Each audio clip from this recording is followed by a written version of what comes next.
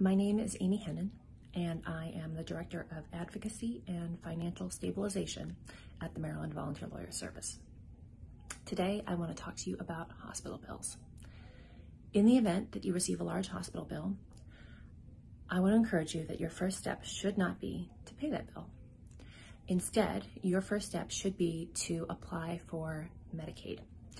Uh, in the event that you qualify, uh, Medicaid benefits can be retroactive up to three months into the past, and so that can cover those bills that you have recently received.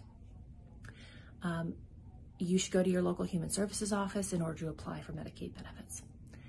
In the event that you are not eligible for Medicaid, I would encourage you to apply for the hospital's financial assistance program.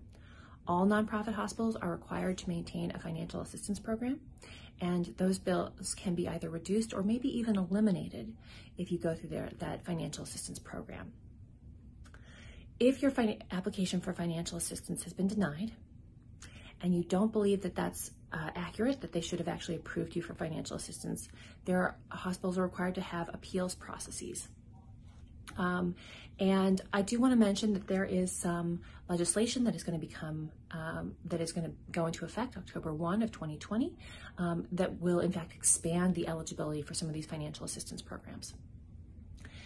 In the event that you don't qualify and you're not otherwise able to get uh, financial assistance or Medicaid or something else like that, I would encourage you to put medical bills on the lowest list of priorities that you might potentially have um, for debts. The medical bills are not going to ensure that you're able to be housed. They're not going to ensure that your family is able to be fed. Um, and they're not going to be able to ensure that you have running water and, and electricity in your home.